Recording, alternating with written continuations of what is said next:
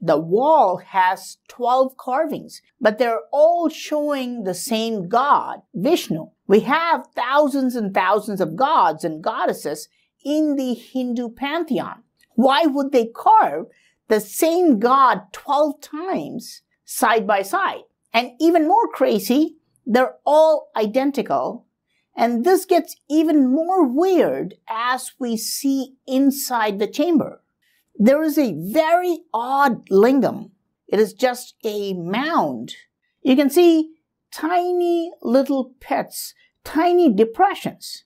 There are exactly 24 of these tiny little pits. What could possibly be the purpose for these?